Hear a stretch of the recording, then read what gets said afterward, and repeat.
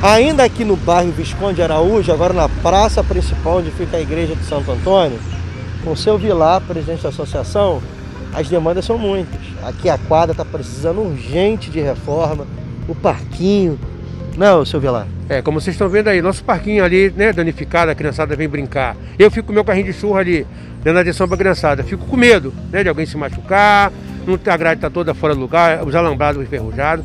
E nossa pior é aqui a praça, a nossa quadra. O pessoal vem jogar um basquete, jogar um futebol. Não tem portão, não tem rede, não tem grade. Então dessa reforma geral pra gente aí. Os usuários dessa quadra, por conta própria, tentaram já reparar alguns problemas, já colocaram refletores, estão pedindo urgentemente o auxílio do governo para fazer a reforma aqui. O vereador Luiz Matos já encaminhou para a secretaria competente atender essa demanda. É o mandato do vereador Luiz Matos nas ruas. E você, viu algo de errado em seu bairro?